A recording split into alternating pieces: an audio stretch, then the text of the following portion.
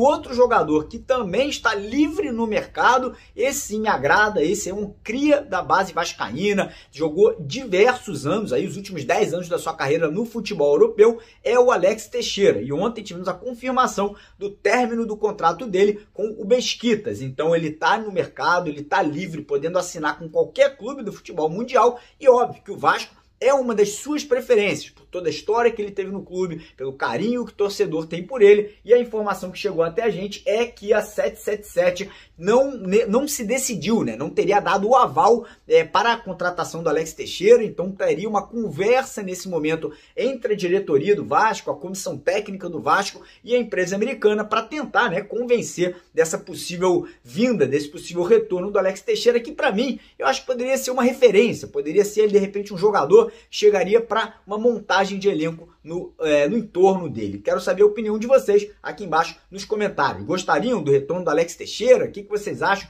de um possível retorno do Rossi? Bota aqui, quero que você, torcedor vascaíno, dê sua opinião também. Beleza, galera? Então é isso aí. Pedir mais uma vez pra galera deixar aquele joinha, se inscrever no canal. E hoje aí, assim que acabar o jogo, a gente volta com a resenha, volta com a análise e volta com aquele vídeo aí, se Deus quiser, com uma grande vitória do Vascão. Beleza? Tamo junto, de vascaíno para vascaíno, porque aqui é Vasco. Valeu! E para fechar o vídeo aqui, eu vou trazer algo muito bacana aí, deu a louca num dos nossos parceiros aqui do canal, o site de apostas esportivas, né? O 1xBet. Eles vão estar tá trazendo dois é, benefícios exclusivos para você que está inscrito aqui no canal Corte de Notícias do Vasco, que são o seguinte: o primeiro, todo o valor que você depositar lá, né, usando o link que está aqui no primeiro comentário fixado e o código promocional Cortes Vasco, eles vão dobrar o valor dessa grana. Ou seja, se você botar 10 reais, tu vai ganhar 20. Se tu botar 100 reais, tu automaticamente ganha 200. E o outro benefício, no final do mês, eles vão dar sorteando dois Pix para todo mundo que, como eu falei, se cadastrar e usar aquele código promocional Cortes Vasco. Então você vai participar do sorteio de um Pix de mil reais e outro de 500 reais. Então já corre lá,